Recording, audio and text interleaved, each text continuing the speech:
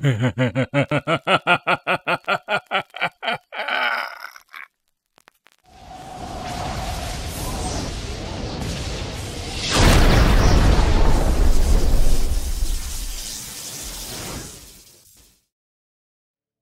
Shaping Staff. Mysterious Rod of Transformation. The legendary Shaping Staff was created by ancient unknown wizards. With its ability to transform any matter in the universe, the staff was deemed too dangerous and hidden away, becoming the stuff of legend.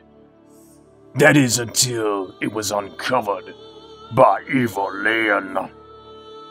Acting on a suspicion, she followed the traveling performer Majestra into a secret cave near the Crystal Sea.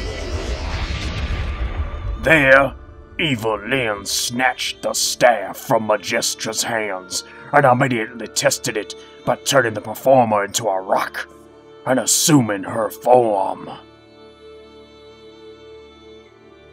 In the guise of Majestra, Evil-Lyn, along with Beastman, infiltrated Eternos palace and transformed several of its inhabitants. After battling Faker, He-Man snapped the staff in two, breaking its spell.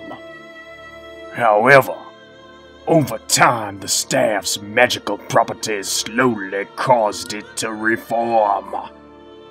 The restored Shaping Staff was later found by the mad technical genius Entrapta and her evil horde companion, Colonel Blast, following their defeat at the second ultimate battleground. This discovery inspired Entrapta to become a notorious trafficker of deadly artifacts, weaponry, and technology.